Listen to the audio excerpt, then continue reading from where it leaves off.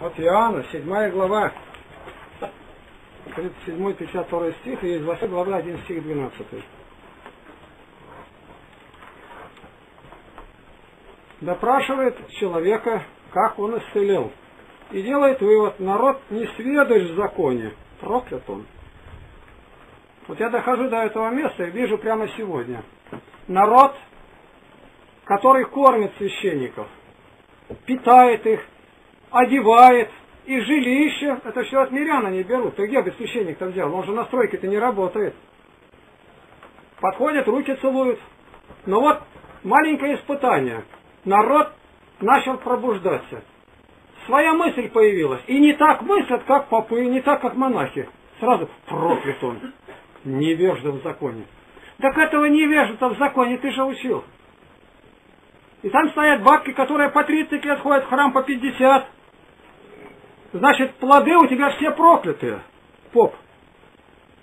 Вы думаете, что это страшные слова, а ведь они совершенно на полном серьезе это сказали, народ-то невежда в законе. Да вы-то призванное левейное колено, вы тем только и занимались, что учить, вам Бог земли не дал. 11-12 колена землю разделили на 11 частей, чтобы вы копались не в земле, а в законе. Там рылись жемчужины доставали, народу давали. Вас кормят и поют, а вы не кормили, не поели, а шкурку-то сдирали. Шорстку-то стригли. Вывод и характеристика всему народу. Народ проклят, он невежда в законе. Вот сейчас исследует мироточение икон, и председатель, и гумен говорит, что скрывать? Народ невежественный наш, он ничего не знает. И не где-то, а в центральной газете пишет на весь мир – исследуют все и говорят, не бесовская ли сила эта голову нам дурит, отнимает время на этих мироточениях, на иконах. Я неоднократно это употреблял уже в книгах. Народ невежественный. Я этого не могу сказать о вас, ни об одном. Потому что вы слышите Слово Божие. Вы читаете его.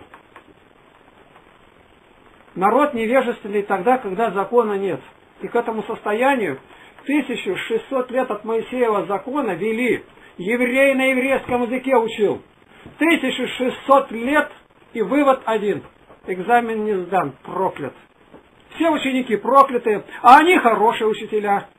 Взяточники, крахоборы, здоровые, жирные, какие угодно, Господь их, вы все сдирали с народа и дали оценку своему труду. Это прямо на сегодняшний день. А как это исправить? Себя. Закон надо изучать.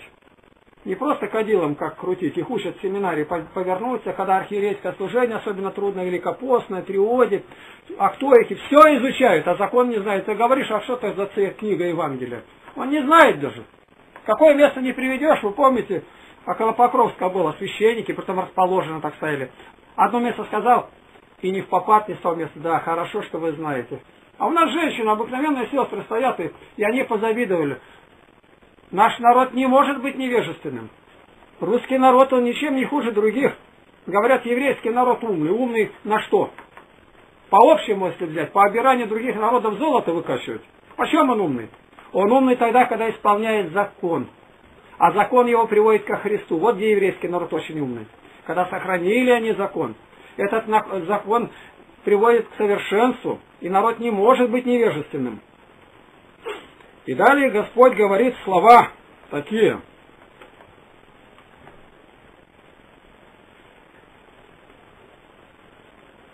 Кто будет веровать, у того из чрева потекут реки воды живой.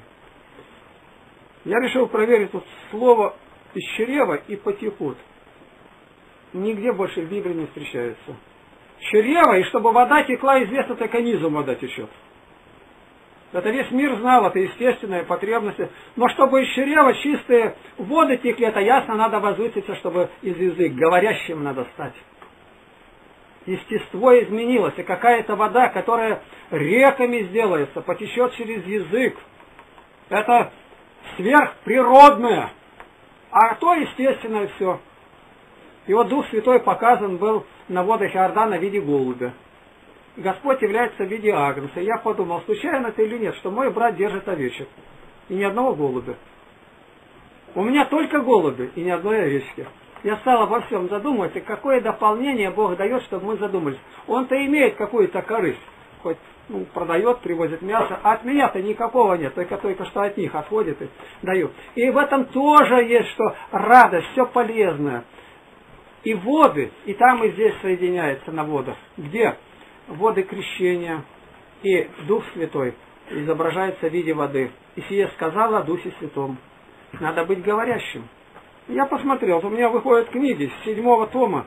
Я стал печатать материал, называется «Проповеди, сказано богослужение» в 2004 году.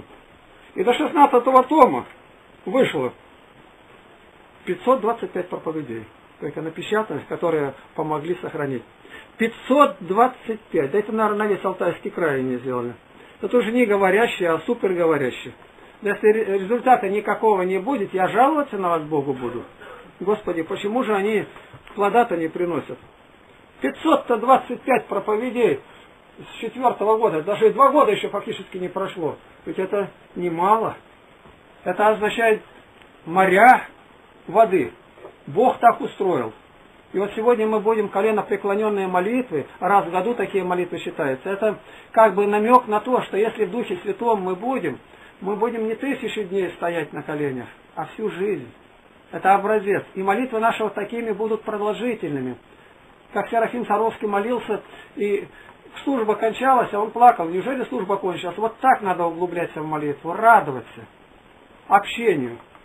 Не по времени смотреть, как бы лишнее время не потерять, напрасно потраченное время. Я говорю, что я подсчитал, так, чуть-чуть, немножко, то получилось, я провел на молитве за 44 года 1100 дней в суток полностью. Это минимальное, меньше, кажется, уже некуда. Я могу сказать, Бог дает ответ на молитву сразу. Мы не знаем, на чьи молитву Бог ответит, но ты всегда твердо верь, что эти реки Бог тебе дает. Ты пьешь. На молитву Бог ответил. И просящему даст Духа Святого. Такого нет, кому Бог не давал. Будешь просить хлеба, будешь просить воды на дачу, а Бог даст Духа Святого. Чего бы ты ни просил, а ответ один дал Духа Святого. Вот что самое это важно. А почему? Потому что и в дожде, и всюду, и везде податель жизни благих везде Дух Святой. Все наполнено им. Так, что из чрева потечет, нет больше в Писании. Река воды живой.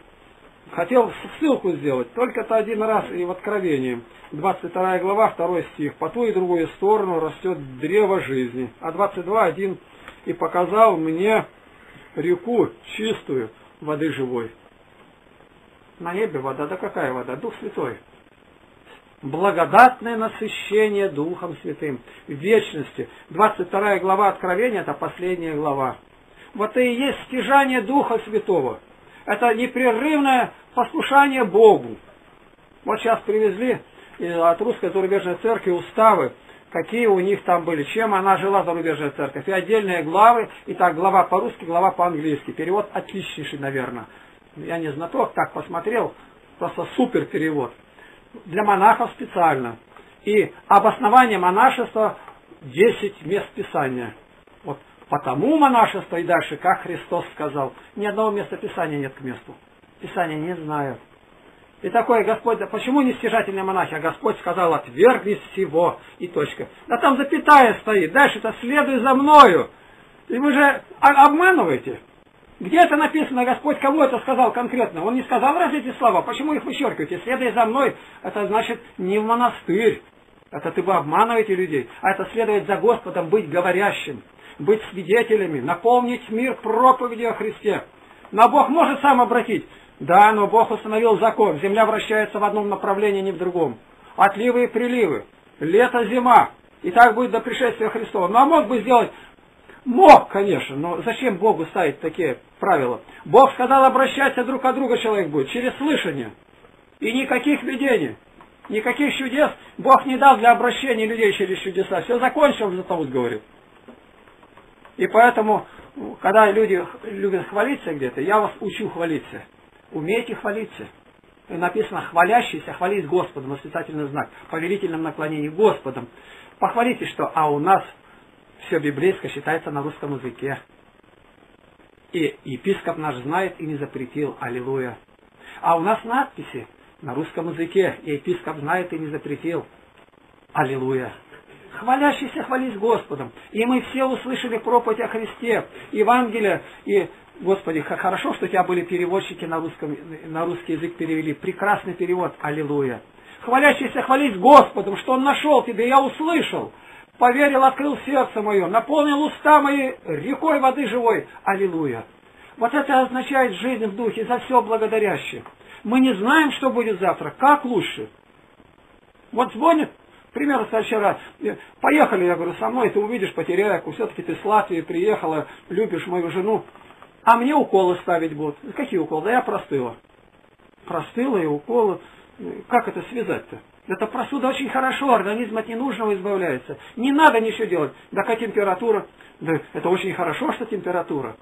Ты спать меньше будешь, ты будешь чаще переворачиваться, Бога благодарить. Брось все. Конечно, я похвалился Господу, у меня ни одной таблетки, ни одного укола нет. И ты знаешь мое какое здоровье? Это железное. Вот. У, просто я удивляюсь, сколько Бог дает здоровья. Не надо ничего, ты свидетельствуй Богу, и тогда ты будешь ободряться. Невеста израненная встала, не нашла Иисуса. Он был с ней? Нет. И она стала стражником говорить. Они ее раздели, избили. Дальше она нашла Иисуса. Когда над нами смеются, нас долбят, это благодарность Богу. Когда мы болеем, аллилуйя, это Бог нас ищет и приближает. Страдающий плотью перестает грешить. Где нет греха, там святость. Понимаете, как все в одно соединяется. Это мы сегодня на коленях должны припомнить. Это не просто колени больно, а ты скажи, Господи, да как я не приучен к молитве, по лестовке не молюсь, щетки уже где-то заплесневели. Вот хоть маленько нас здесь в храме-то, Господи, через длинное-то богослужение-то растревожь, особенно в день святой верной Пятидесятницы. Книга Иова, 22 глава, 7 стих. Ты утешал жаж... жаждущим, но если ты не подавал им воды и прогонял просящим хлеба, горе тебя. Ева 22.7. Подавать не только воду, хотя, конечно, воды надо давать. Кто бы ни пришел, ты сразу начинаешь ему говорить о Господе. Два слова, а дальше о Господе. Два слова, и Бог как-то усмотрит. Как он усмотрит, я не знаю.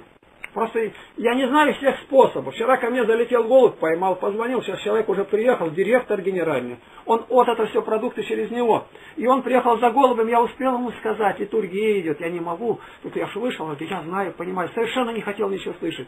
Бог как делает.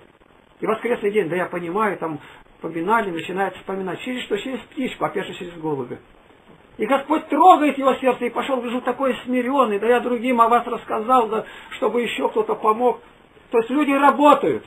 Я немножко опять, не надо просто хватать и тащить. Он сам это все видит, читает книги, идет процесс преображения. Разве это не чудо? Вчера два человека специально пришли с городской администрации, от мэра города принесли мне поздравительные с днем рождения и духовные пожелания. Это вообразить даже нельзя. Как, какое? С личной подписью, я сегодня вам прочитаю. Но я в ответ ему 15 том, чтобы он тоже обратился. Мы не знаем, как Бог делает Духом Святым разворачивает, как Он сродняет, прилепляет одно к другому, чтобы новая виноградная кисточка выросла. Я абсолютно точно могу сказать, что Он уже гонителем не будет таким, каким мог быть. Потому что благодать уже касается. Зачем бы ему помнить мой день рождения, я даже не знал, и специально двух людей подослать даже как-то страшно делается. Что это? Мы не знаем внутреннего процесса. Книга пророка Исаия 32.6. Невежда говорит,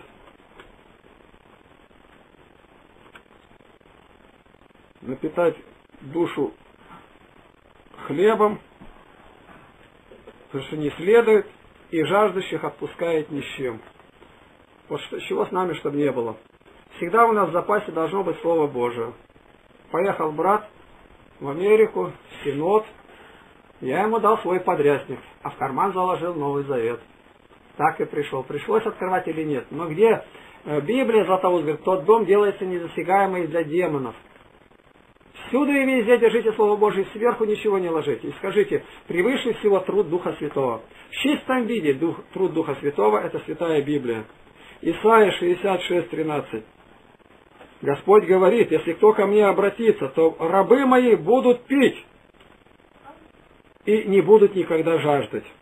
Евангелист Иоанн 4.14 передает слова Христа. Кто будет веровать и пить воду, которую дам, тот не будет жаждать вовек, но вода, которую я дам ему, она сделается источником воды, текущим в жизнь вечную.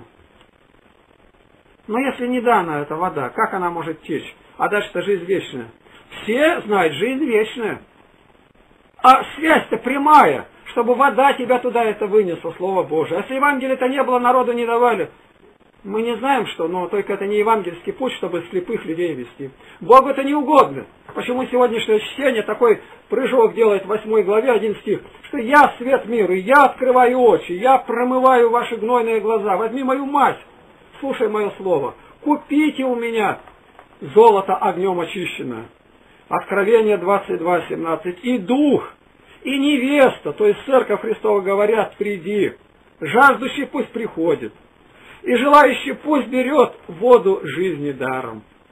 Самарянка не поняла сразу. Трудно понять, родиться свыше. Он старыми категориями как в утробу матери войти. Учитель Израилев этого не знаешь. Женщина сразу, дай мне такой воды, чтобы во дворе у меня был источник, не ходить. Вот вода бы как наполнялась и наполнялась. Господь говорит, текущая в жизнь вечную. Это другая вода, о ней надо рассказывать. Вот когда человек читает Слово Божие, он не будет задавать вопрос, а телевизор покупать или не покупать. Не покупать, а если есть, разбейте. Он вам не нужен. Если есть хороший видеофильм, только посмотреть, но это уж на самый последний случай. Не надо, потому что у тебя вода текущая в жизни вечная. Зачем тебе мутные источники? И Господь говорит, два зла сделал народ мой. Каждый. И это зло помогли сделать священники. Меня источник воды живой оставили а высекли себе водоемы, которые не могут держать воды, Иеремия 2.13. А это все остальное, все, все, что не Библия, все, что не Слово Божие. Сегодня, да, будут украшены ветками. А ветки-то для чего нам эти нужны? Лишние у березы ветки обрезали. Это напоминание, как Израиль шел, находился в кущах. Когда ему крыша не мешала слышать голос Божий, прямо соединенная с природой. И что, читаем в Священном Писании, самые великие откровения, благодатные Бог давал на лоне природы. Нагорная проповедь. Гора Сион, Бог дает закон. Э, крещение на Иордане. А последний раз мы видим, вот они находятся уже и в доме. Уже собрались. Как будто от страха. Они боятся, закрыты. Бог разрывает все преграды и дом наполняет. То есть дом это церковь. Церковь должна быть сегодня наполнена этим дыханием бурного ветра Духа Святого. А раз бурный, значит, все погаснет. Он наполнит уста. Мы вообразим так, вот сегодня в храмах ну, католиков почти миллиард. И вдруг бы Дух Святой сошел.